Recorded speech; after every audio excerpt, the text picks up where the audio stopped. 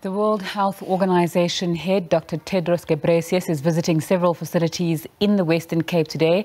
Let's get more on this. We cross to our, report, our, our reporter, rather, SABC News. This is Bulelani Philip. A very good afternoon to you, Bulelani. Just give us an insight into what's happening there. Uh, good afternoon to you, Zinga, and to the viewers at home. I'm coming to you just outside uh, the Crossroads Health Center, which is the third stop uh, that uh, Dr. Tedro is uh, making. Of course, uh, this is just a community health care center that is integrated vaccination with other routine healthcare facilities. And he's just been given a tour of the facility in terms of how they are um, administering the vaccination uh, in, in conjunction with other healthcare services. He's got a packed day, and uh, ultimately, at about 4 o'clock uh, this afternoon, he's set to deliver uh, a press conference uh, to some of us uh, who are following him in Stellenbosch. And later this evening, we are told that he will be meeting President Cyril Ramaphosa. Nzinga? Bulelani, we also know that uh, the health minister is there and there's a large South African contingent. Can you tell us more about the people who are accompanying Dr. Ghebreyesus uh, from his side and from the South African side as well?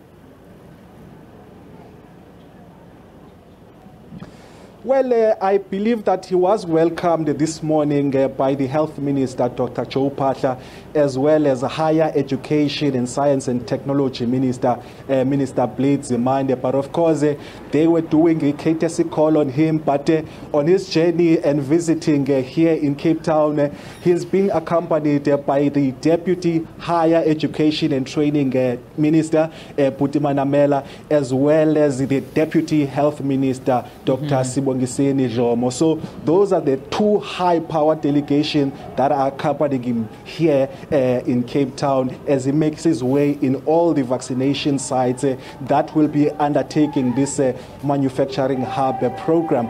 You'll remember that this is Africa's first program that will be trying to actually get a new vaccine, and this vaccine is hoped that it will be actually distributed not just in Africa but also to the rest of of the world. And uh, the World Health Organization says uh, they've taken the step uh, of giving uh, these uh, test trials uh, to South Africa, given that they have quite a developed research capacity as well as the infrastructure. And they were quite pleased with the proposals that were put to the WHO. And they are hoping that as they continue with this construct vaccine, it will take quite a, a short period of time to actually get to clinical trials and uh, they are hopeful that uh, as time goes on, we'll get to finality so that uh, the developing countries can actually also take a firm stand and make a contribution to the vaccine rollout. Of course, earlier, speaking to the chief scientist of the